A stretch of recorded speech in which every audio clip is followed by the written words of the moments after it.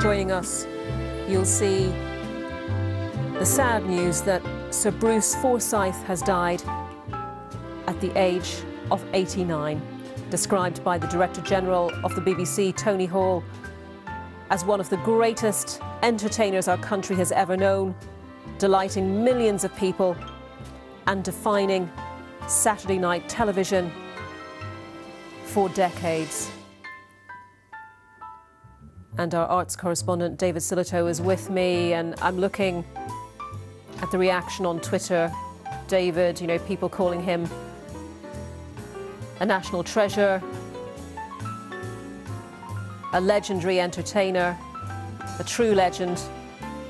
Strictly Come Dancing saying RIP Sir Bruce Forsyth, true legend and entertainer and all-round lovely man.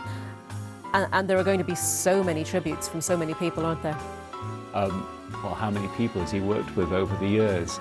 Um, I was having a little look at the list and I thought, my goodness, he was he appeared in that. Uh, he appeared briefly in Magnum PI in a small role as well. He did absolutely everything of uh, one form or another. I mean, versatility was uh, uh certainly a word you can apply to him. And I'm seeing a, a, a still here from the uh, classic film Bedknobs and Broomsticks. I don't think I knew he was in that. Do you know, I, I remember Bedknobs and Broomsticks pretty well, but I can't remember him being in it. But uh,